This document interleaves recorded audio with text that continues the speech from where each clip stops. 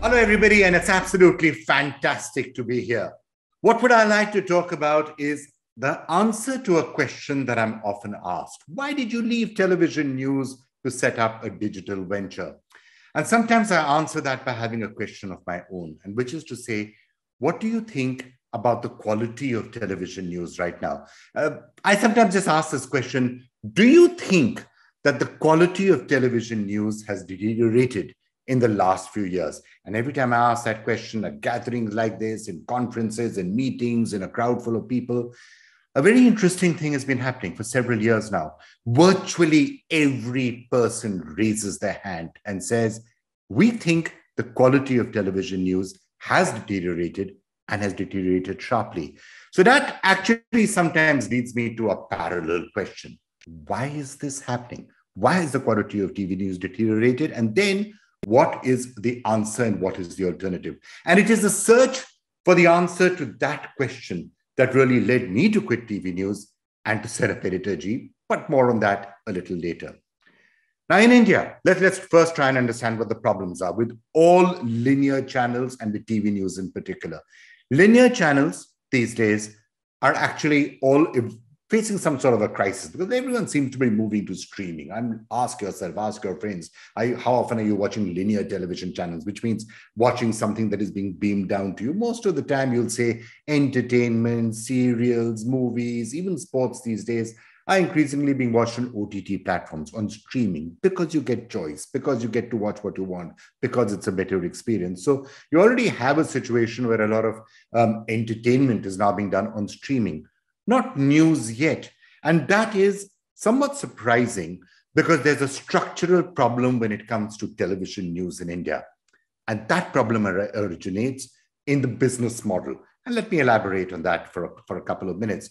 You know, in many places, what happens is if you have a good quality television news channel in America, in Europe, in many of these other countries, what happens is that the business model essentially is I'm going to do high quality news and I'm going to charge people subscription fees. Somebody will pay money to their cable operator or to me directly, and they will subscribe to watch that television news channel. Now, in India, unfortunately, that doesn't happen. TV news channels don't get subscription money. When you're paying money to your cable operators to watch XYZ news channel, it's not that, that money is passed on to the news channel. Very little amount is very small, almost negligible. Instead, many news channels are actually paying carriage fees to cable operators. So distribution is not a revenue source. Distribution actually is a cost. And that has its own implications. That means that television news channels are entirely dependent on advertising. That's the only way they can make their money. And advertising comes entirely from TRPs, those three letters you've heard so much about. And justifiably, it's uh, uh, in a sense the cause of most of the problems that are actually happening when it comes to TV news. And the reason for that is also that TRPs come from some 40, 50,000 boxes in the entire country. Yeah, that's right. 40, 50,000 boxes in a country of 1.4 billion people is really determining whenever you're seeing news channels saying, oh, I'm number one, I'm number one, I'm number whatever it is. That's all based on 50,000 boxes in a country of 1.4 billion people. And by now, it's been scientifically proven almost that TRPs come from shouting and screaming. It comes from tabloid contents. It comes from sensationalism.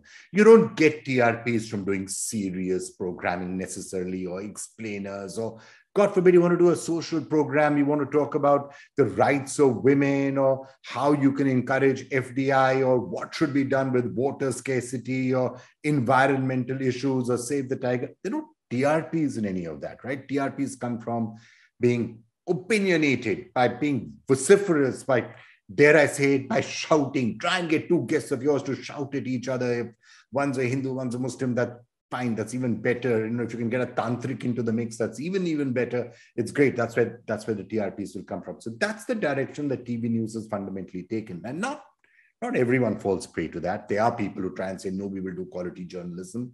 And there are lots and lots of really good, really talented TV journalists who are still out there plugging away doing good quality journalism. But it, but it occurred to me many, many, many years ago that um, because of these problems, the fact that linear television in any case is, is going away at some point, and you add to that the fact that uh, television news in particular is going to be challenged uh, because of the TRP issue. I, it was clear that this is not where the future is going to be. So then I turned my attention to saying, okay, that means the future will be in digital video, right? Let's try and get people good quality content from digital video. Digital video news is the answer. Unfortunately, in its present form, it isn't. And the reason for that also requires a lot of analysis and a lot of debate. And I did spend almost two years trying to see why is it that digital video news is not really working?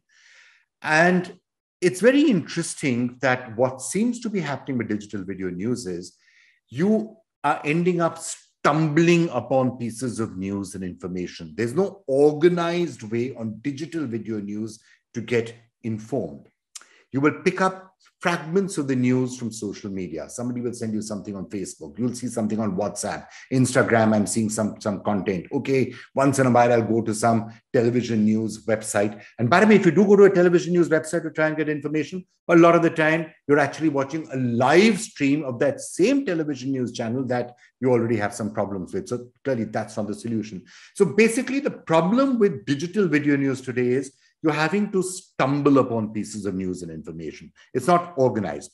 And the other problem, which is an even bigger problem and an existential problem, is you start getting information only from an ideological echo chamber. And the reason for that, I'm sure all of you have seen the serial, The Social Dilemma. The reason for that is also crystal clear. The algorithms say, show this piece of news and information to X person. Why? Because this is right leaning content and X person is right leaning, or this is left wing content and this person is left leaning, or this person once clicked in this sort of a content, so show that person more of that content. This is what is happening. And that's why, if you look at the world around you, the cleavages in society, the polarization, the sort of anger and hostility that we are seeing is getting sharpened because people are no longer seeing a comprehensive, broad based, sense of, you know, what used to be there once upon a time when you used to watch the nine o'clock news or the eight o'clock news or whatever, not just in India, but around the world. You would watch a newscast and you'd get a broad sense of this is what is happening in the world around you. You would get the news and then you could make up your mind. Today, that doesn't happen, right? You're getting snippets of information. Most of it is not so much news, but views. Or if it is news, it's actually views disguised as news. You're seeing the piece of content and you think you're getting news from somebody, but actually it's got that person's biases or opinions or views inserted into the news content. And that's what you're seeing. And as a result, we are by now reaching a situation where most people don't even know what's true. They don't know what is fake and what is not fake. Look now, as I said, it's not just in India. Look at the United States. So many months have passed, and people still don't know whether Trump lost the election or whether the election was stolen because you can't agree on facts. If you look at what's happening in, in Ukraine right now or any other place, people don't know what the facts are. And to my mind, that's a challenge because you should tell people this is what the facts are. This is what has happened. And then you can make up your mind. Is it good or is it bad? That's a matter of opinion. And that you, as a user, as the viewers, as the audience, you're bright enough, you're intelligent enough. You should be able to make up your mind that yes, this is good or no, this is bad. But you should at least know what the facts are. And right now in digital video news, that is not entirely happening. So, to cut a long story short, what is the answer and what is the solution to this? Now, when I was setting up Editor I actually came to the answer from a very interesting place. Right? It was from the music industry. Yeah, it was from the music industry. And what I told myself was, was actually it was like a eureka moment, you know, getting up from bed one morning and saying, Eureka, music. Why music? It's because television news is like radio, right? It's like radio. You, you can you have to listen to what someone is telling you. You don't like it, change the channel. But fundamentally, TV news is like radio. You don't like what you're being seen, change the channel. You don't have any other option. Digital video news and information today is like cassettes and CDs. You can find the story that you want, but you got to go looking for it. Like remember putting in a cassette or a CD and you know fast forwarding it to the right place. That's how you find the music. And if you don't know something has happened, you may never come to know. And it is coming to you from a small chamber. So you, you know even cassettes and CDs, you're with your friends and your friends will do. I like that song. I like that music but the serendipity isn't really there where you can go out and find a lot of stuff for yourself. Now, in music, the problem was answered, right? Because how many of you are actually listening to cassettes or CDs or even radio right now? Most people are on Spotify or Apple Music or Gaana or Saavn or wherever. But what's essentially happening is that AIs uh, and AI algorithms or humans are putting together playlists. And those playlists of, um, um, of music is, is what you really tend to listen to because it seems to know this is what the sort of music you like, and that's the music that will be played for you. So when we set up Editorji, we essentially said that is the direction in which the future is going to be. So sometimes I joke about it when people say, if you had to sum up what you're doing in one line, what would it be? I sometimes jokingly say that, well, you know, perhaps we're trying to become the Spotify of video news and information. Because if you actually open the Editorji app, and I would of course urge, I don't want to plug the plug any company, but if you were to open that, then the, the direction is clear that we have an AI playlist, right? And that playlist comprises um, 30 stories, all factual, no opinion in any of them, no is this is good or this is bad? This is this is what has happened. And that those 30 stories are created to you and put into a playlist. And within a year or so we're going to allow all of you to create your own playlists and share them with your friends with your with your family with anybody that you like. But the interesting thing is that all of those stories are vetted by an editorial team. So they are all 100% factual. There's no fake news in any of that. And it's unbiased. So as a result of that you know you you do get just what the facts are. Now, the big question that we had to address, and this has been one of the major sources of debate, and I still don't completely know the answers to that, is it was very easy to build an algorithm which will show people the stories that they want. So I could build a playlist today. My, the Editorji algorithm can today build a playlist which will show you exactly the news stories that you want to watch. And it took a major decision on our part to say, that's not what we're going to do. Because if I'm going to only show you stories that you want to watch, you're not going to be fully informed. You may have never shown any interest in Ukraine in your life till now. And the algorithms, therefore, will not know that you should be interested in Ukraine. But of course, you should be. You should be knowing what's happening. And similarly, maybe there's something happened somewhere in Jharkhand or in Chhattisgarh or Tamil Nadu or Kerala, which in the past, your viewing behavior or your consumption behavior doesn't show that that is an important news story. But we believe you should see it. So what we did is we set up a beautiful AI algorithm that would show people what they wanted, and then we broke it, we smashed it, we tore it up, we said, forget it. And now we have a new system, which is a human machine hybrid, because the humans say these are stories that people should see. And the algorithm says, okay, okay, fine, I've heard you.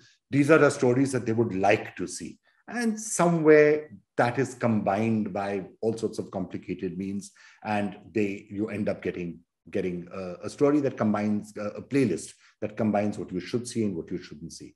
Um, a couple of other things that I just wanted to add before I before I pipe down is that one or two other major trends are going to be seen. I think. I think this entire era of a pipeline business where I'm a media house and you want to come and consume me at the media house. So I own the consumer. That's called pipeline, right? That's 20th century thinking, 2010, 2015 thinking. I think in the new world, everywhere where you look, Uber has disrupted, you know, taxi services. Airbnb has done that to hotels. Everywhere, the pipeline businesses are going to start disappearing and platforms are going to come in and platforms are going to dominate. So for us, yes, if you get the, the Editorji app or you get that, it's great. It's good. It's a good, good experience out there. But we believe that eventually distribution will happen in a very open manner. So it's a very open architecture. Not anybody can just come in and say, oh, citizen journalism, we're uploading our stories, but we have to check the veracity of that. But anybody can create playlists, anybody can share the playlist, and let there be distribution. Let there be no walled gardens. Let there be an open architecture. That's the way the future is going to be. And I think it's going to be an exciting future. I think eventually um, once all of these things have been worked out, once all of this, uh, once all the, the, the, the, this is a period of tremendous transformation we're going to see in technology. And once this happens, I think we will eventually, hopefully, get to a place where you don't have the control of news and information in a few hands because the pipelines are gone. And yet, you're not having fake news circulating. You're not having news only coming from one side of an ideological echo chamber or the other side. You're actually having people who are better informed. And when that happens, it'll be a good day, I think, for all of us. Thank you so much for listening to me.